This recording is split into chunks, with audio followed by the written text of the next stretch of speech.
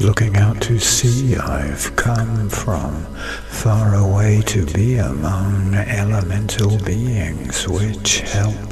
my changing mind to switch from who I thought I was before, knowing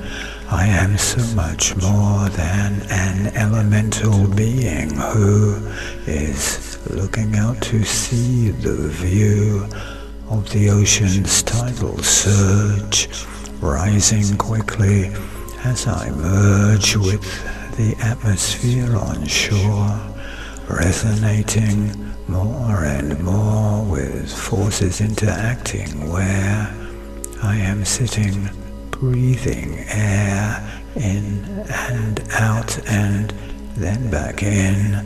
contemplating what's within everything and everyone, grains of sand and to the sun thoughts, I think, imagining uh, taking place somewhere within while looking out to sea, alone, no world wide web,